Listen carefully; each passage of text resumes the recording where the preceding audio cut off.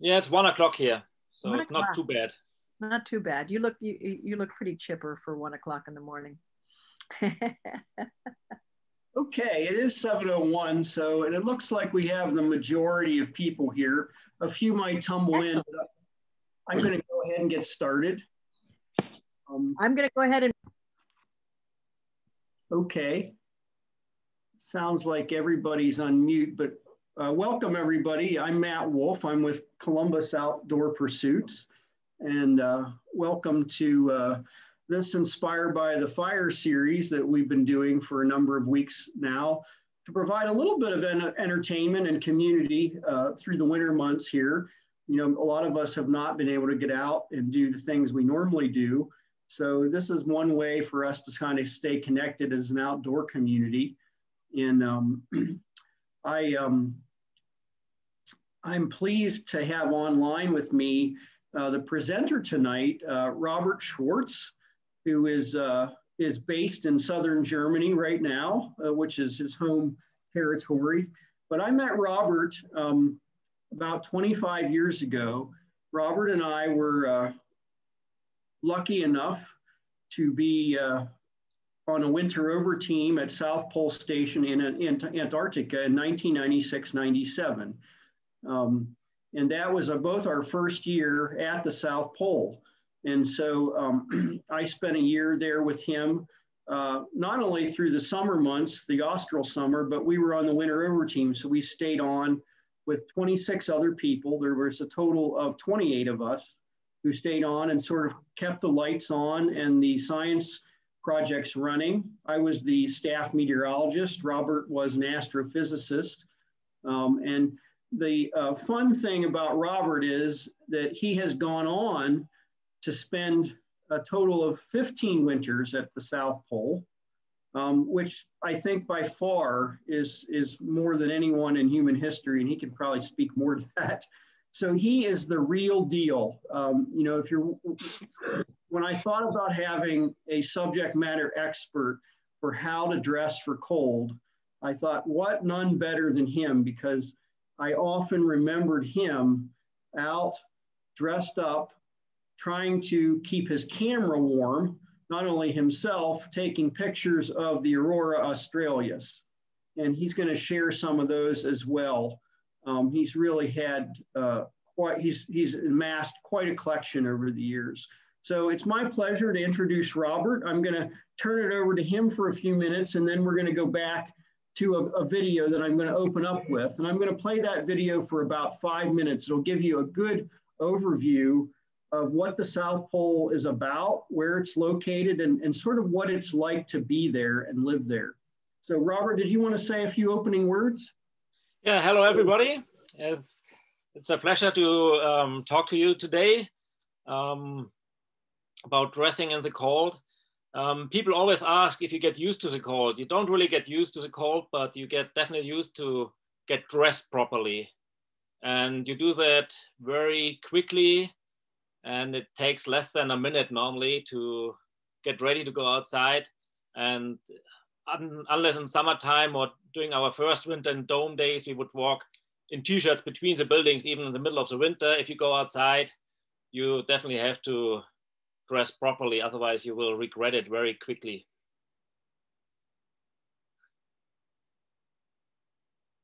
Matt, you muted. I am muted. I'm going to start now by sharing my screen with a very good opening video. Robert and I talked about this and, and he pointed out this video. And I really do, do think it gives, gives us a really great overview and a, a, of what it's like to be at the South Pole and work there. So I'm going to share my screen for about five minutes and then I'll come back and we'll, we'll start talking with Robert again about how to dress at the pole and, and we'll work into his presentation. Of course, at any time, if you have questions, this is casual enough that you can just take your mute off, pipe up and ask. So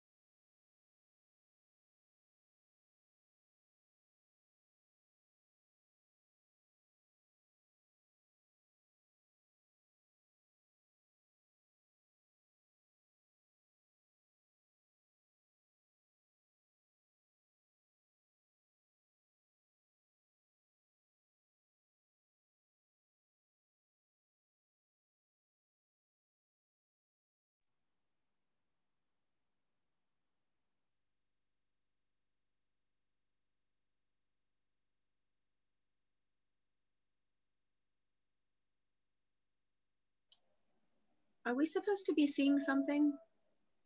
I think he's working on it. Gotcha. That's the effect if you want to present something. It worked fine before.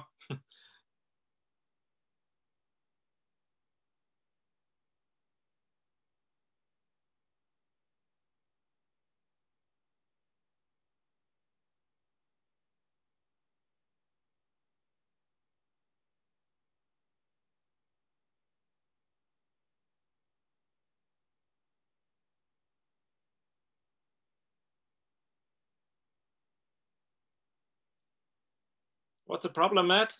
You're muted too, so we can't hear you what you're saying. He's swearing. Oh, okay. There's some lip readers. of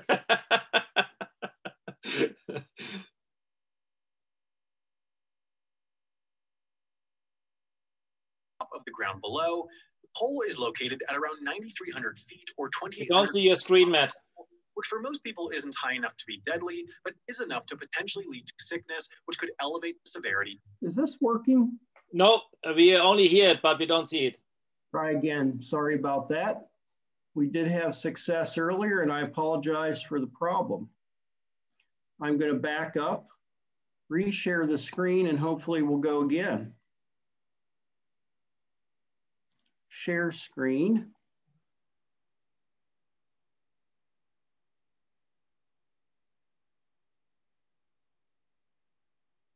Nothing yet. Share. Now it goes. Yeah. Thank you.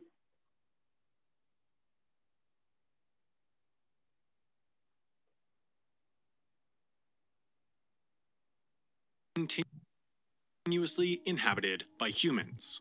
In fact, it's safe to say that there's nowhere on Earth with such a large population, about 45 in the winter and 150 in the summer, where nature is so constantly working to kill you.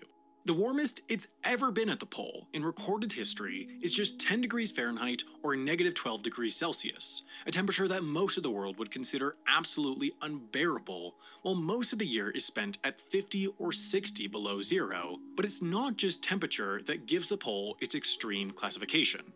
It's also one of the driest places on Earth, with a relative humidity regularly dipping to 0.03%.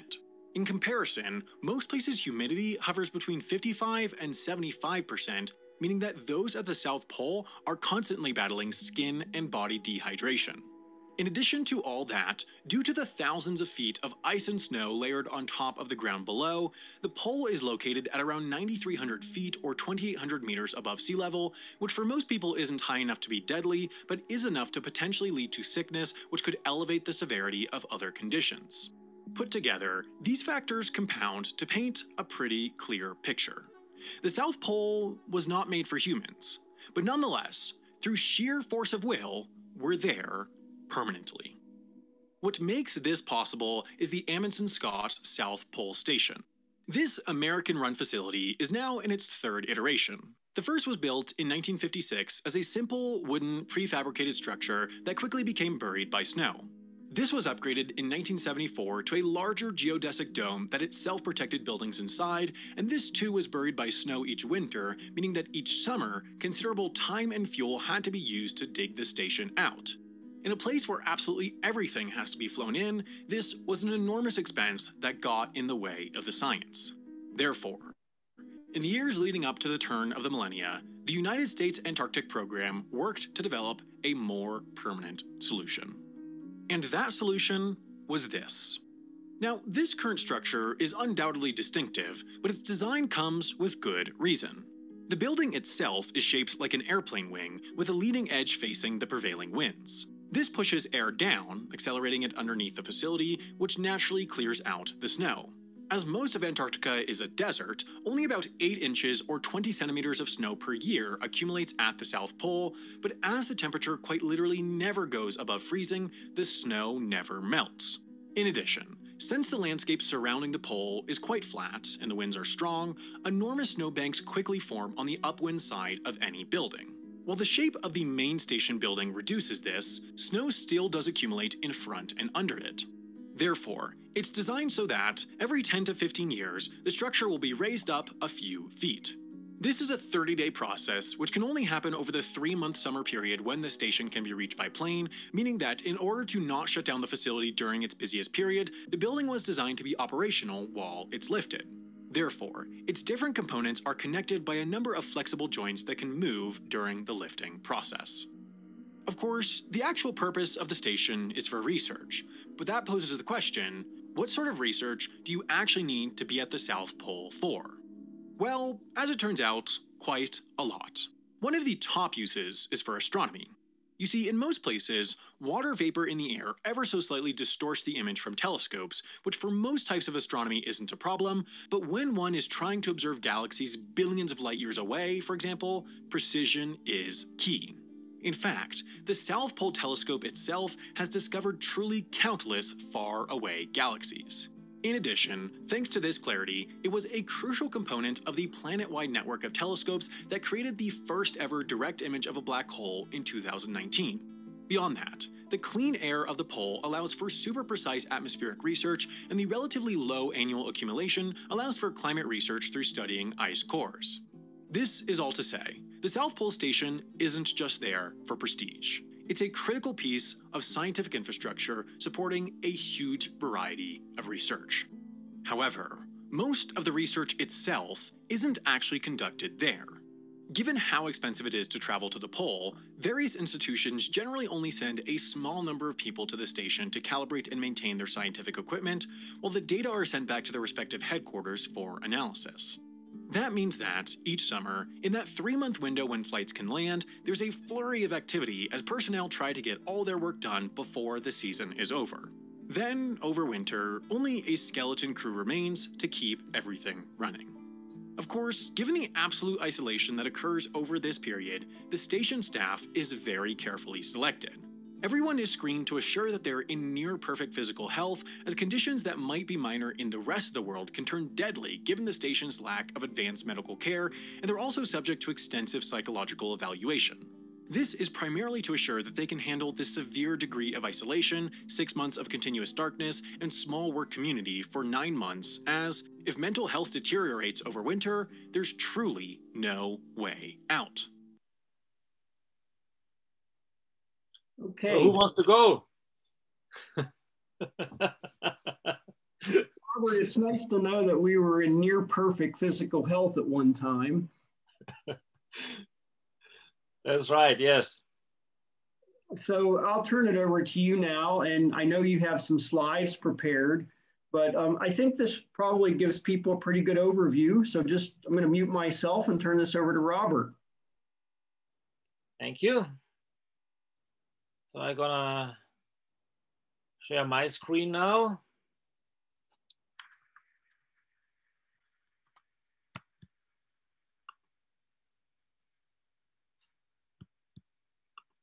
Hope it works better.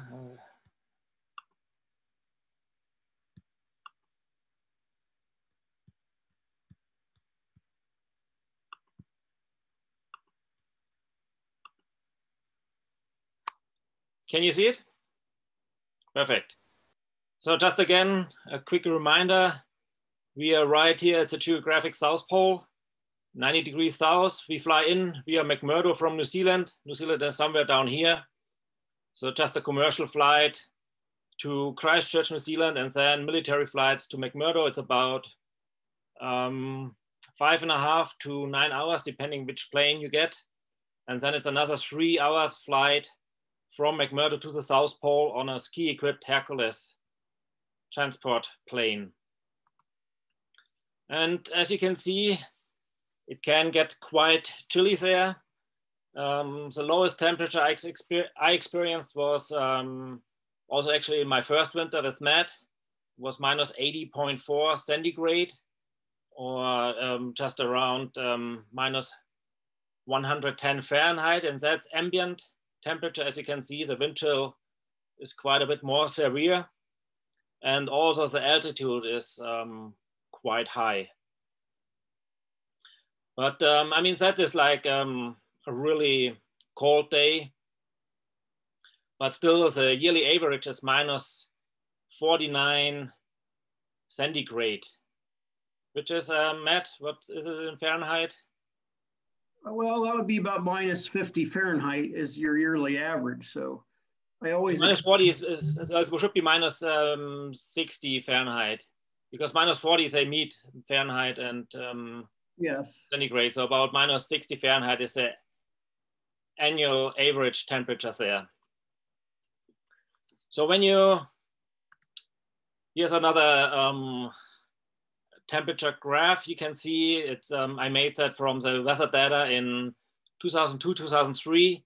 And you can see quite a bit of variation even um, during the austral winter when it's dark for six months, the sun doesn't get above the horizon and you think it should be pretty cold all the time. But even there you can have temperature jumps and um, minus 40 degrees in wintertime actually seems warm. And you run around with an open parka and um, as you can see on the little wiggles, it can happen quite often. And um, temperature jumps of 30 degree Fahrenheit uh, within 24 hours is actually not rare. It can happen quite often, just depending if the wind shifts and it comes from another, another direction. You go out to work in the morning and is really chilly, close to minus 90, minus 100 Fahrenheit. And then the wind shifts and like a few eight hours later, you go back to the station and suddenly it's like quite a bit warmer. I think, wow, you open your parka when you walk out. But um, here's a little um, guide what you wear. So inside the station, of course, it's normally warm and you just wear um, normal clothes like uh, kind of a jeans, t-shirt, sweatshirt over it. And then you start with like Carhartts, insulated pants, but actually not very thick, just a normal standard work pants you can also get in the States. You have some bigger boots.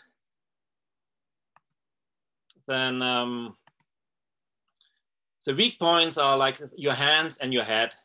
Everything else is actually um, quite good. So you start out with um, the first um, balaclava, another one that kind of protects your throat a bit more. Then a big down parka. another head on top. And I had my own face mask because I had the problem like when I was breathing out and um, it just doesn't fog up your glasses. It immediately freezes on your glasses because your glasses are cold enough. So I made a little face mask with a little snorkel where I was breathing in and out the outside air directly. And that uh, worked actually quite well. Then during winter time, you have clear goggles. In summertime, some with tinted glasses. And then three pairs of gloves, a thin one. Um, sometimes you have to take off the big mittens if you have to work on um, some small stuff. Then some wool mittens over it and some big fur mittens. And then if it's really windy, you put your hood up as well. And that's actually all all there is. So it's actually not so much as you might expect for these temperatures compared to what you have in, inside. But um, you definitely get used to um, get dressed to it and also quickly. And here's a picture of me outside actually um, in the ground shield of my telescope. Robert. Um, all the years down there, I was working for um, various telescopes. First, it was a telescope bird in the eyes looking for neutrinos, subatomic particles that are created with every atomic reaction. And then later on, I had um, two microwave telescopes I took care of, and we were looking at the afterglow of the Big Bang. So the farthest signal we can see in space. And here you can see me outside on the walk to the dark sector.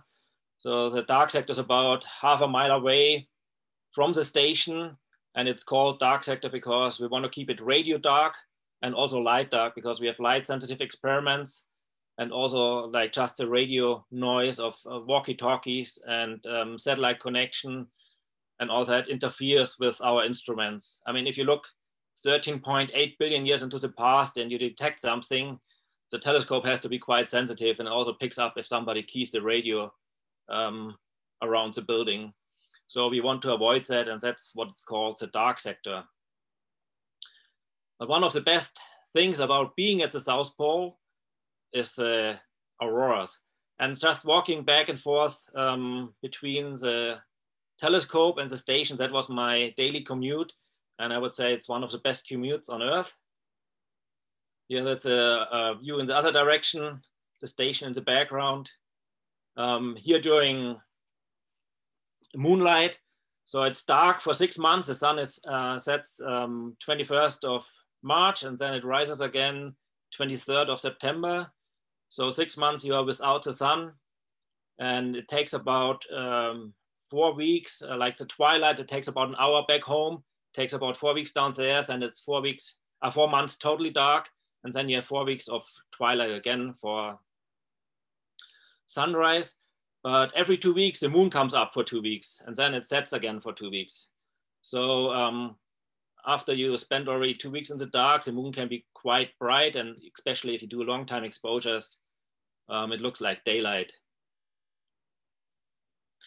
But um, the auroras are definitely, just the auroras are worth going down there. And um, we are right on the inside of the most active aurora zone, the so-called aurora oval. And so most of the time we always have some aurora. So if you, in the course of 24 hours, um, you have a good chance if the weather is good enough, you always see some kind of auroras and if it's dark enough. Here's another picture of the geographic South Pole right in the back. You see a little post here. That is the actual geographic South Pole, 90 degrees south. It, um, we are sitting on a big glacier. So actually the ice moves with about 30 feet per year. So every 1st of January is the new exact South Pole. The South Pole, of course, is fixed but then the ice moves on top of it 30 um, feet roughly per year. And so every 1st of January, the exact pole is determined. And then a new marker is placed there and the sign. And um, maybe another interesting story um, for that is um, when the temperature drops below minus 100 Fahrenheit, we have a little sauna. We heat up to over 200 Fahrenheit and then the temperature difference from inside to outside is over 300 Fahrenheit. And um, so we stay in the sauna until we can't stand it anymore. And then we run outside only with shoes on and we run one time around the geographic South Pole and we have a difference of 300 degrees Fahrenheit. And then we become a member of the 300 club. But here are some uh, more pictures of the absolutely beautiful auroras and the night sky. You see here the Milky Way. And um, the nice thing for astronomy at the South Pole is um, it's very easy for the mount because uh, except moon, sun, and the planets, nothing rises or sets.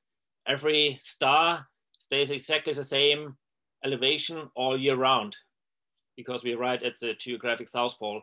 And here you can see the center of the Milky Way um, here is a Scorpio, Sagittarius here, and uh, it's an absolutely beautiful view.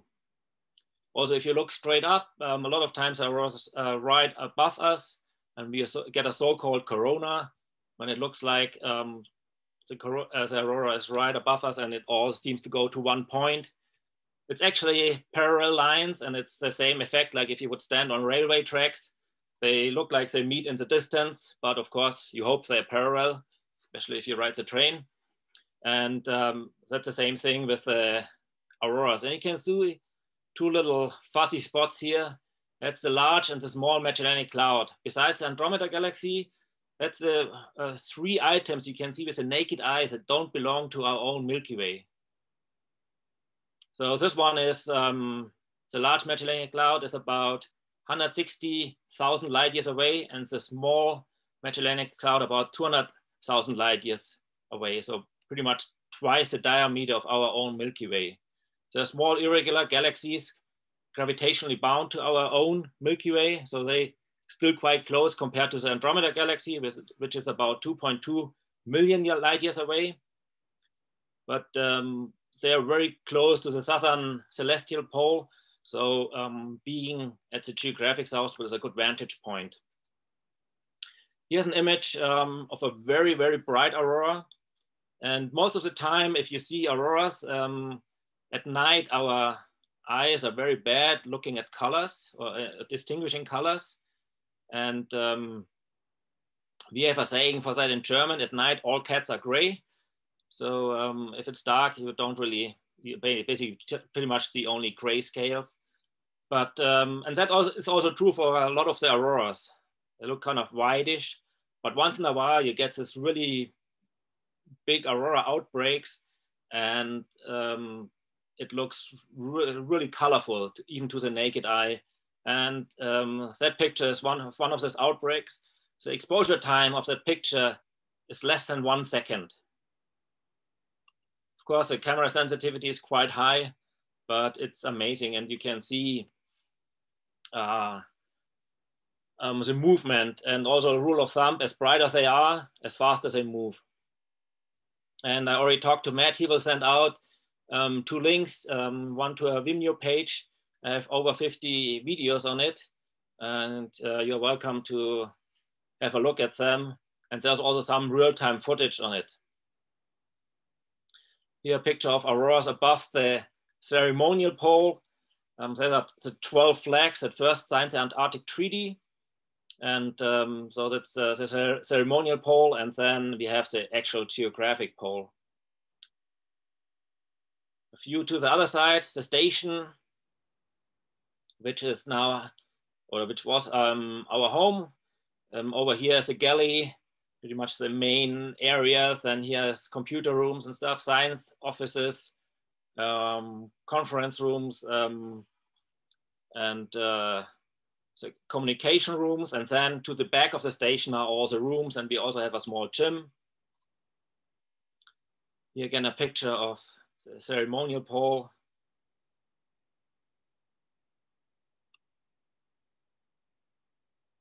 And a picture from the dark sector to the station.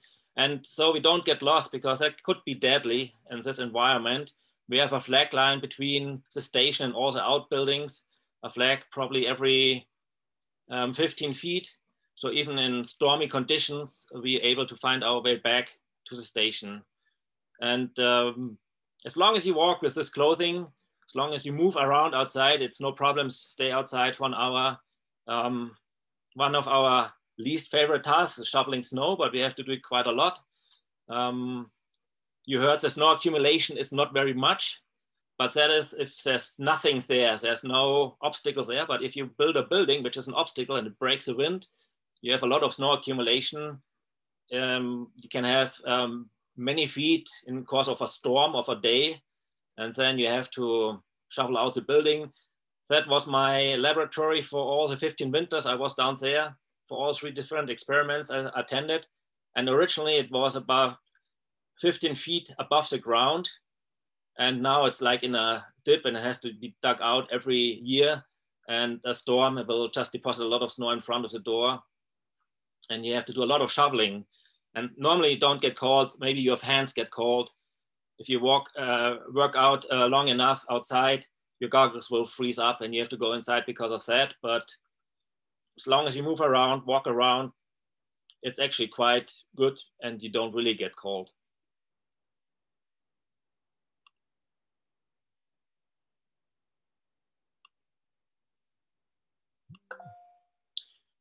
Also, um, some the main auroras are normally the green and red, but once in a while, especially like if it's close to sunrise or after sunset and the sun still hits the upper atmosphere, you also get a lot of the pink and bluish auroras. That's a diff that's nitrogen. The green and red is um, mainly atomic oxygen that's getting excited. So what the auroras are, it's basically charged particles from the sun, mainly electrons, that um, fly into space. And um, if something is on the way, like the Earth, um, the particles um, hit our magnetic field and they can't penetrate the magnetic field directly, but they kind of follow the magnetic field lines like beads on a string to the poles. And there they enter the atmosphere and they excite um, atoms and molecules in our atmosphere. This, all that happens between um, roughly um, 40 to 300 miles above the ground with the most activity roughly about 100 miles above the ground and excites the atoms. And these atoms don't want to stay in this excited state. They want to give off that excess energy they got because of the, uh, they've been hit by an electron. And the easiest way to get rid of that excess energy is in form of light. Pretty much the same you have in every fluorescent light bulb. You have a thin gas and you put high voltage on and there's electrons rushing through and they hit the atoms in that fluorescent bulb and they excite them and they give off light. Just the auroras are much nicer than a fluorescent tube. Up here, you also have the Southern Cross. And here's Alpha and Beta Centauri. Here's only Alpha Centauri. Um,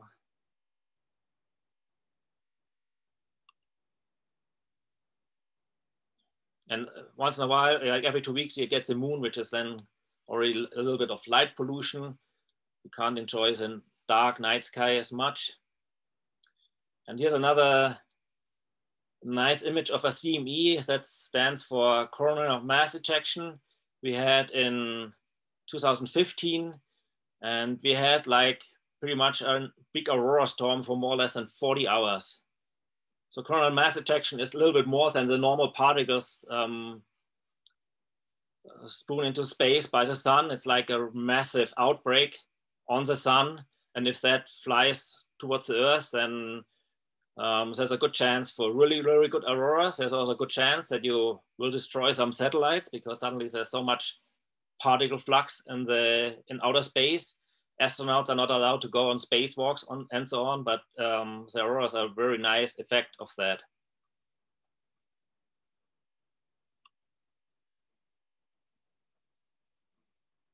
Some more pictures of the ceremonial pole. There's quite a different variety of auroras.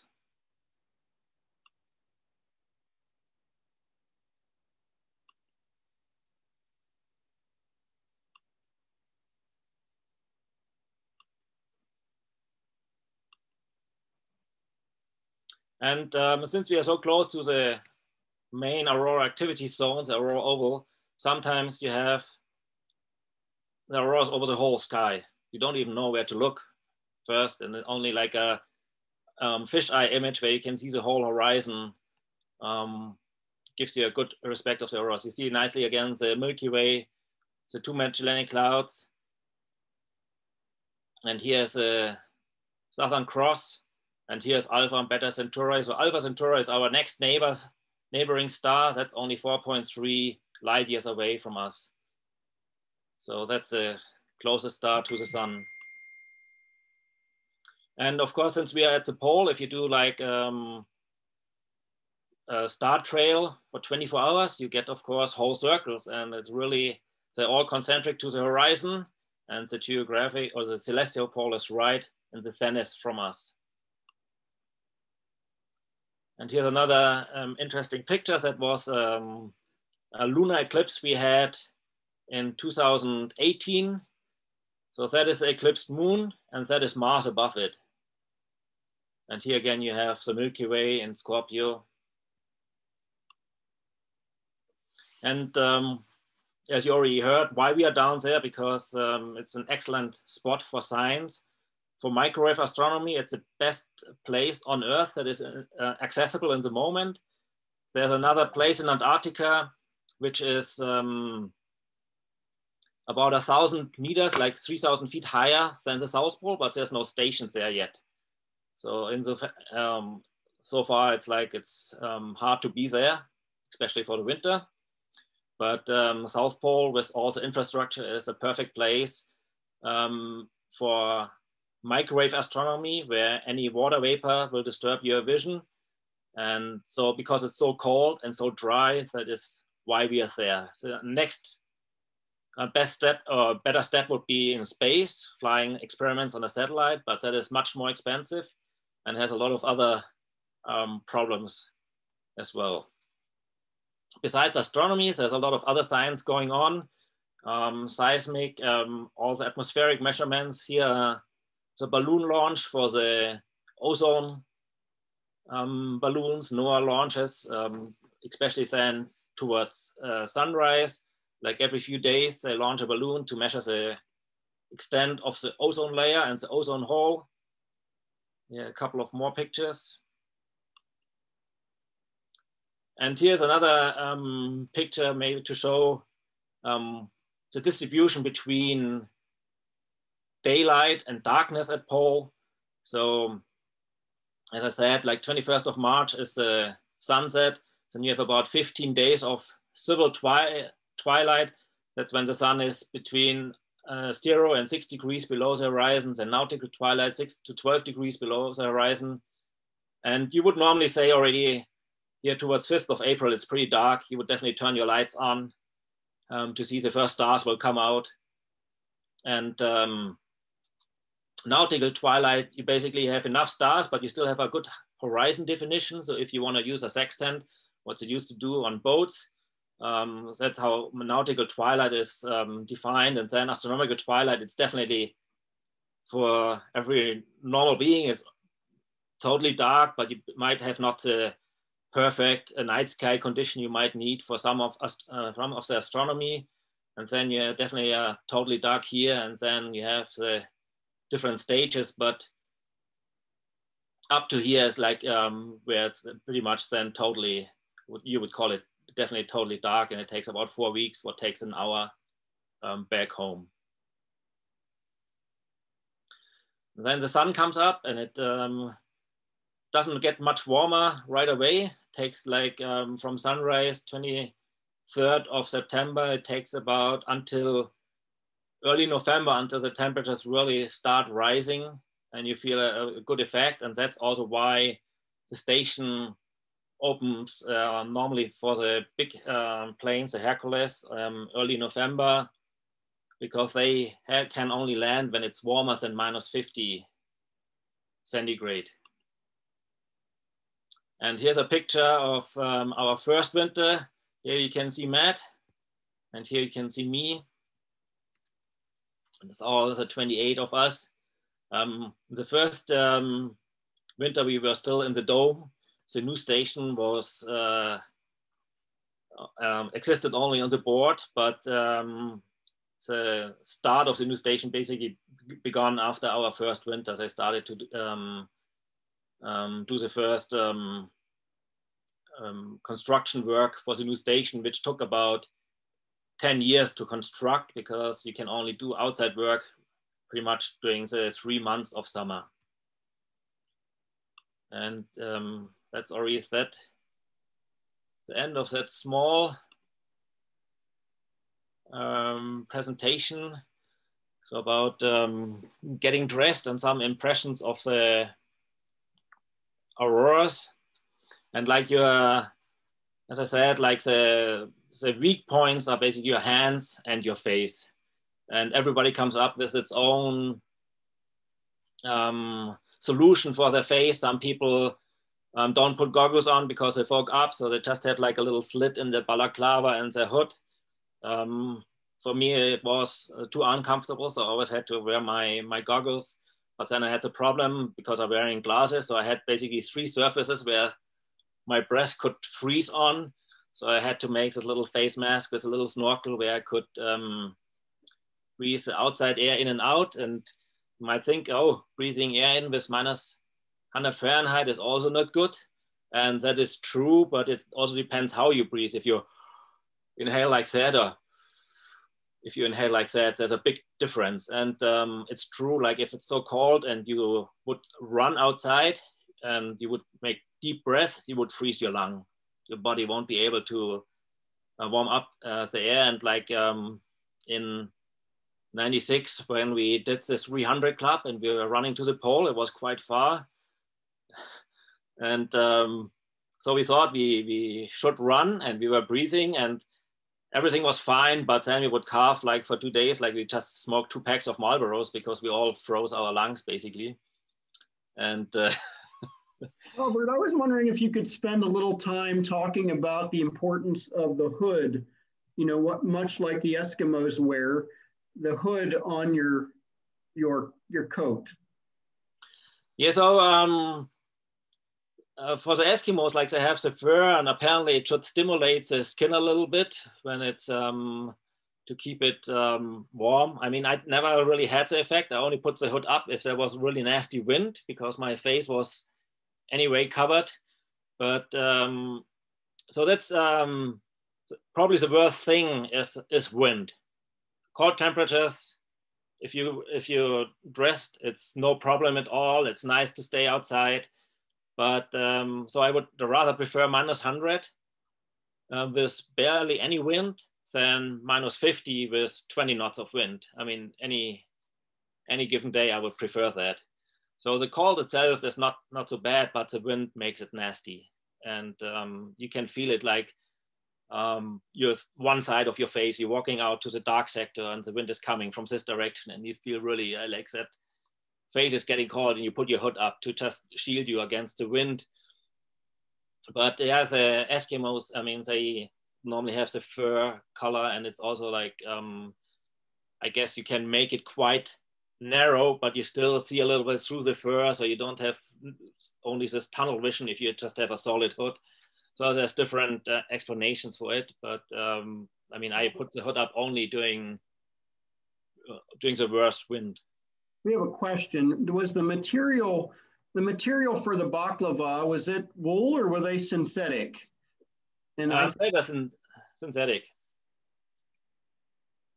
Yeah, it's just like I mean, so I had um, for the face mask I wear, I had actually uh, three different ones.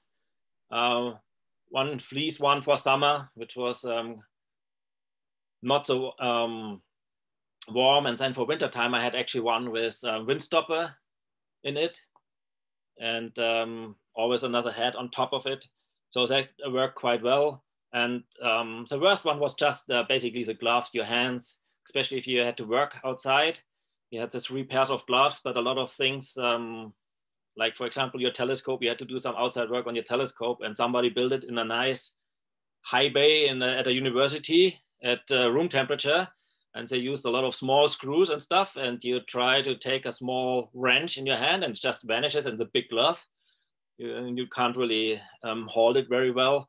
So you have to take basically all the big gloves off when you only have your small finger gloves. And um, I mean, then the wrench also has already minus 80, minus 90 Fahrenheit, and you touch it and it's metal, and it you definitely feel it. And um, also taking pictures, I, I mean, yeah, I frostbite a bit all my fingers a lot of times, especially during my early years when I was still doing slides. And anybody who did long exposure um, slide photography or, or analog photography, you know, you had this little wire to hold your, your shutter open and there was a little metal screw and you try to work that also with your your gloves. That was um, quite hard and later on, once you had digital cameras, it was much easier because you could just build a electric um, remote control and you could use any switch you and you could use a big switch you can easily operate with mittens and there was no problem with that. Robert, I'd like to open it up to questions now and just give folks a chance to, to ask you about anything they want. You've covered a lot of material here. And uh, so if you if anybody has any questions, unmute yourself and, and ask Robert. I can go. I can I can start. Certainly, first of all, thank you for those incredible pictures of the aurora borealis. That, those were phenomenal uh, just uh, just what, what a great share that was. Uh, in in practicality, I want to talk about uh, people uh, wearing the right things and the wrong things and getting cold, uh, or maybe getting too hot underneath all that kind of stuff. Um, I've heard of a common mistake. Um, and did this ever happen to you or people with you where they put like too many socks on so that it re reduces the circulation in the foot so that their feet actually freeze faster is there any uh, thought about making sure there's dead air space in those incredible uh, boots to make sure that there's uh, there there's uh, warm air circulation from uh, uh, regular body heat? Can you talk a little bit about that? Um, you know, common mistakes that are made. You can do the same thing with your hands. You put too much to, to you, you reduce the circulation in your hands if you've got too much on there and you're restricting the airflow. So talk a little bit about that. Yeah, so that's definitely true. Like um, especially like for for boots, which uh, um, you don't want to have too many socks on. Mhm. and um, the boots are quite huge. I mean, they're also quite heavy, and um, you have one pair of um, socks. uh, Some, depending on which kind of boots, there's also the bunny boot, uh, which the um, military uses as well, and they have actually a little airspace inside. They are rubber boots with uh, they have a little valve, and you can pump air in it, or you can release the air. Like if you're on the plane, you don't want them to, like if they if there's Oh. less pressure, Yeah. and they, they will expand, and they will also be quite uncomfortable. So you have a little valve to to release pressure there. And um, but that's a a thing. Like you have like some some air as insulation, and of course, you have a big um, sole on the bottom with like an, probably another extra felt liner because Yeah. the ground is always cold. It's always around minus 50 or minus 60 Fahrenheit. Yeah. Yeah. And go it's definitely true like for your, your, your hands as well. You don't want to restrict them too much. And also Mm, one thing, um, what we use a lot is like this um, chemical hand warmers Yeah. you're Those probably all uh, familiar with. And um, the great thing, they work with oxygen in the air. So if you um, put them like in a small Ziploc bag, they're normally good for eight hours or so, roughly.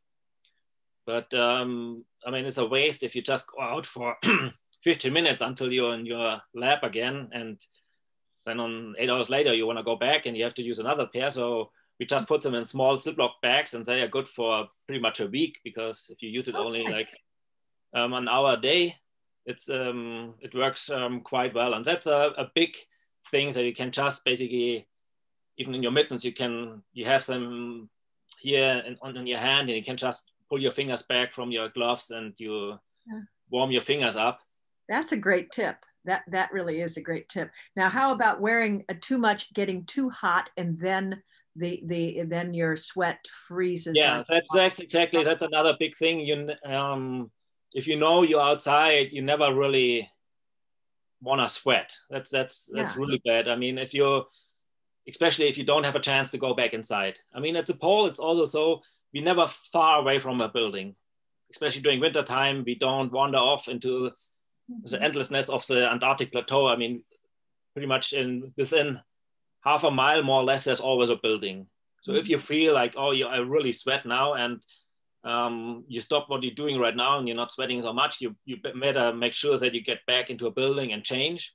Mhm. But if you know you will be outside for a while, especially in summertime where it's not so cold, I mean, I mean, a hot summer day is still quite a bit be- below freezing, but Mhm. uh, you definitely want to make sure that you're not um, uh, that you're not sweat too much. And like the onion layer principle, you're all, all familiar with. This also works down there very well. And you might, when you start out working, you rather want to be a bit cold and then warm up than being too warm and getting sweaty. And that is very um, counterproductive and actually worse than starting out a little bit cold. I mean, same when you go on hikes or so. When I go into the mountains, I mean, you get out of your car or whatever, you start in the morning from your hut or whatever, you, you want to be actually a bit colder. And so you don't have to change every Yeah. five minutes. But then again, it's it's good if you can change or like even like open your jacket and not wait until you're really sweaty and um, be like um, already proactive in that. Yeah, and then you can get really cold. Yeah, you know, and, and certainly I've been known to take a, a, a change. Uh, so if you're if, if when you stop hiking and you put up your tent, you know, you get in the get get get in and change into a dry uh, underlayer, uh, so that you don't uh, so so that that has a chance to dry and also you don't get too cold uh, because isn't that doesn't that isn't that uh, a, a cause of hypothermia that having having that cold layer next to your skin when you Yeah, stop oh, yeah, definitely. And it's like, uh, I mean, the the problem with the hypothermia at pole is again, um, if under normal conditions you don't really get it. I mean, what you definitely feel like, oh sh- shit, it's really cold. I can't feel my hands anymore, and you go inside. yeah I mean, yeah I mean, we never away so much, but the um, danger is like if something happens, you have an accident or you get lost, yeah then you're definitely very quickly Yeah. prone to to hypothermia. That's dangerous, dangerous stuff. Yeah. Well, if you do the 300 club and you're only in your birthday suit out, I mean, then you don't want to stay out too long. you Well, definitely don't want to get lost in that circumstances. as as a as a Finnish American, I'm just delighted to hear that you love your sauna. and you put it and you put it to good use. I mean, it's like, yeah, the sauna is um, really a big asset there, and it's uh, it's used quite a lot. Yeah. I mean, sometimes you even feel you come in and you feel just chilly, and you just um, go into the sauna. It's normally always like on a on a small heat. Yeah. It's like just a nice uh, place to warm up, and you even go in. As you, you take your big clothes off, but you wear your normal inside clothes and you just sit in the sauna for a few minutes and, and warm up again. And um, so that's also nice. And also another thing is, um, of course, we have um, pretty much all the fresh water on the earth down there, but it's frozen. So Oh. to use it, we have to melt it. Mm. And um, pretty much all our water for usage is melted with the, ex- uh, like the heat from the generators. So there's a heat exchanger and we melt ice with that, but it only gives us a certain amount of, of, of water. So if we use more water, we have to use precious fuel for it. And so we Mm. try to avoid that. And so um, we have basically a limitation of two two minute showers per week and one load of laundry. Mm. Might sound terrible at the first, but because it's so dry, you don't even want to shower every day because your skin is like just doesn't like it. And even Yeah. after if you shower only twice a week, like you come out of the shower and it feels like oh, like a snake that has has Yeah. to um, Yeah. change its skin. You have to put lotion on, Yeah. and so like um, just a two minute shower. It's not really much to to warm up. Really, like if you think, oh, I want to have a nice hot shower. I mean, two minutes are not really long enough for that. So a lot Yeah. of times we just go into the sauna for 15 minutes, warm up, and then we take our shower. Yeah. Makes yeah. it much more comfortable. We're going to open it up now to see if anyone else has questions, um, particularly about, you know, dressing for the cold or recreating outside. I know Robert's done a number, he's been uh, done some mountaineering himself. Um, he hasn't only been at the pole over the last 25 years. So I'll just let it open now before we have about 10 minutes, seven minutes till eight, and we'll try to close this up at eight o'clock.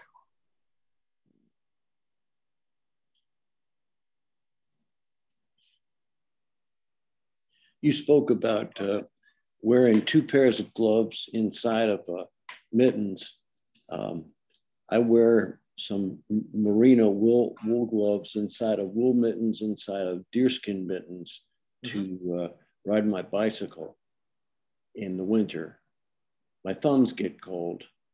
And you, you, you spoke about uh, some kind of a chemical thing that you that you kept in a plastic bag and was not exposed. Yeah, like this is chemical hand warmers you can buy. They are um, it's a small um, kind of cloth bag, like uh, and they are packed in, in, in plastic, airtight. And once you open it and you expose them to oxygen, yeah. so basically all it's in there is like some active charcoal, Mhm. some iron powder, and like with the moisture in the air, it gives a chemical reaction that produces heat. But it's not reversible. So there's some other hand warmers that you can also are reversible, but these ones are not.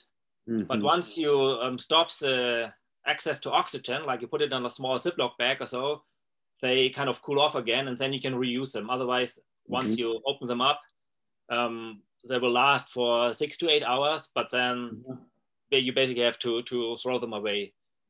And they are Yeah. flexible, so that makes it quite good. And um, also for the gloves, like um, in summertime, a lot of times we use skidoos, and they have the thumb throttle, and yeah, like your thumb definitely gets cold. So sometimes we just put another hand warmer in the big mittens right where your thumb is to to keep your um, your thumb warm. Yeah, well, if they last for six or eight days, I, I only, uh, or six to eight hours, that, that would last me one week. Yeah, that's what we that's what I did. Like Mhm. I always put them in because I never knew if I would take pictures if I go out, and it was just more more comfortable, especially in wintertime. During summertime, I didn't need it, but in wintertime, just to have that extra warmth at your hands was quite comfortable. And um, the walk from the station to the telescope took me 15 minutes, but wasn't held up by taking pictures of the auroras. And um, then I just put them in a small Ziploc bag, and they will cool off. And then in the evening, I've used them again, and so yeah, I could use them for a week, up to a week.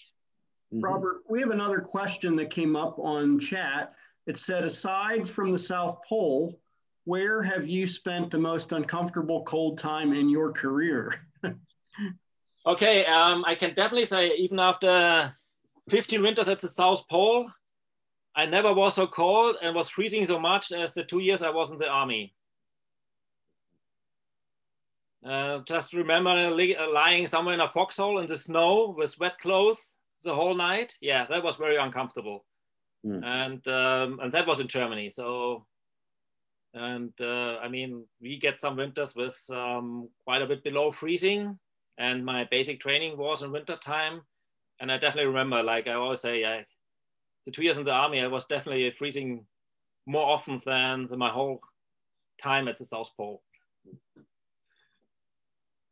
The hard part about being in foxholes or in out in the cold like that is you have to go to the bathroom because yeah. the fluids go through your fat body faster, and that's that's that's trouble. yeah, we always uh, make the joke at South Pole. It's hard to pee outside if you have so much insulation and it's only such a yeah. long pipe. So.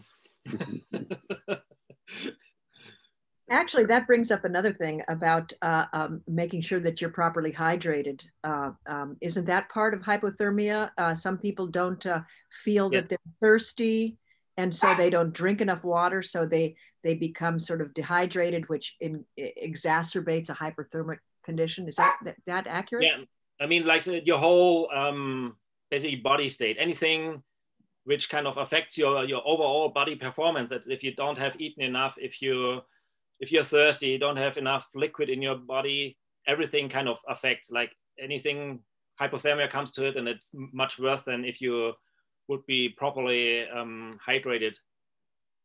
And uh, already because of the high altitude and the dry air, I mean, you have to drink a lot at yeah. the pole anyway. And um, I mean, you as you saw on this little um, clip, I mean, the air is dry, and that's the reason why we are down there. And it, it, you feel it on your hands, you feel it on your nose, like you're breathing. You get down there, and after hours, basically, all your sinuses are dried up, and it will stay there for the for the rest of, of the year. Mm. And um, so you, you definitely um, have to drink a lot just because of the humidity and you, you lose um, just with breathing. And once the air gets into your lungs, it's normally at body temperature and 100% humidity. So if it starts out with nearly zero humidity, you have to put a lot of humidity in with your body. If, it, if you're in a humid climate, I mean, yeah, you don't have to put much in. So yeah, you have to drink a lot of how many liters a day do you think? Did you ever think about it? Did they tell you you must drink X amount of? of uh, they, they recommend at least three liters. That's but, I mean that's um I I actually drink anyway a lot, so like three liters was easy for me. I mean, a lot of times I would drink four or five liters a day, especially on a day where you would you do some sports. We have um, I mean, besides where we are, we have quite we have a nice gym which has a full-size volleyball court. The outside is not as big as regular regulation, and we have a weight room. But you you work out and uh, you go on the treadmill or so, and just I mean breathing this dry air, you definitely feel it, and you have to drink a lot. Mm-hmm. Yeah. Anyone else have any questions before we wrap it up tonight? I don't think so. Thank you. Yeah, I, I, wanted to ask one, uh, Robert. Uh, I, found this fascinating. I, mean, I found everything you talked about fascinating, but uh, one thing that uh, kind of uh, interests me was uh, you talked about how the uh, uh, the ice shelf shifts. You know how it moves. I believe it was like 30 feet a year, and you have to change. You know where the marker is located for the South Pole. So at the same time, is the all your experiments and the station itself are they shifting too? And I guess over time, I guess you know over say uh, 30 40 years you'd probably you know move like a quarter of a mile you know away from the actual south pole. So do things have to you know um, be uh, moved around all the time in addition to that marker? No it's actually only the marker is moved. And um, of course when they built the old So that was the first station built in 56 and they had the dome, which they built early 70s. And now the new station, which they started around uh, the turn of the um, century. Um, they kind of uh, moved the, sta- the whole station layout a little bit around. But overall, then the buildings itself, they stay the same distance and they are not moved. I mean, it doesn't really matter if we are um, right at the geographic pole or like a mile away. I mean, that doesn't really change anything much for the um, for tracking of stars or anything like that. I mean, of, course, if you talk about longer time spans of like a few hundred years, yeah, it will eventually have an effect, effect but um, just 30 feet a year, I mean, for the next even 30, 40 years, it's, it's nothing. It's now only the 300 club gets harder for the new guys because now the geographic pole moved by the main entrance of the station. So now it's moving farther away again. So it's getting basically round trip 60 feet more every year. So at one point, I won't be really feasible anymore to do this around the club. Have to keep adding a few more of those uh, flags that are spaced out at 15 uh, feet feet apart. yeah, exactly. Hey, if that's it for everyone, I think we can say goodnight to Robert. It's the middle of the night in Germany, so I think we owe him thank you for being with us and spending the evening with us here in Ohio and uh, the Eastern United States. So thank you, Robert. You're very welcome. And Matt, make sure to send out uh, two links to that um, South Pole Sky page and the Vimeo page so people can have a look at the videos. I certainly will. And good night to you. And okay. thank you very much. Thank you. It was wonderful. Thank you. You're very welcome. Thanks to everybody for listening and all the best and stay healthy. Vielen Dank. Gerne. See ya. Good night. So long, Matt. Goodbye, Dave. We'll see you the next time. Bye, Mother.